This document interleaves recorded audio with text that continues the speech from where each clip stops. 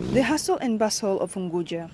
It's the largest of the three islands that make up Zanzibar and a magnet for tourists attracting over 150,000 visitors per year. But just northwest of this place is Tumbatu, and that's a different world.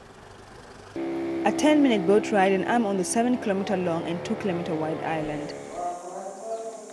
I arrive in time for the 4 p.m. prayers, residents heeding the call to pray, walk or cycle to the mosque.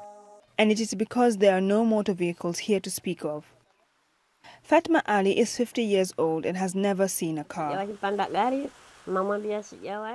I have never been inside a car. I have never even seen a vehicle up close. I only see them on television.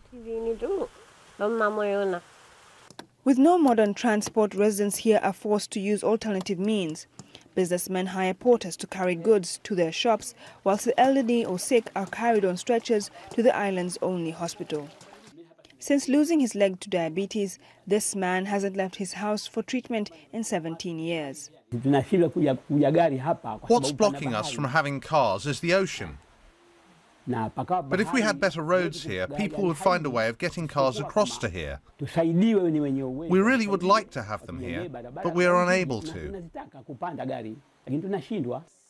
The people of Tumbatu are very rooted in their traditions and customs. The island's elders are worried that outside influences could jeopardize their way of life. They are not very keen on links with the outside world.